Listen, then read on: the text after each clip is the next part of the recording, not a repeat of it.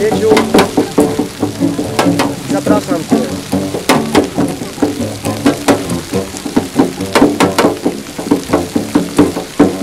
Możesz przyjechać dzisiaj, możesz też zabrać się z Matejką. Budujemy arkę. Nie wiem co to będzie.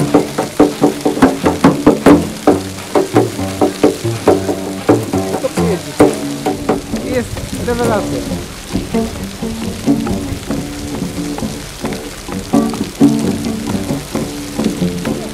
Gracias.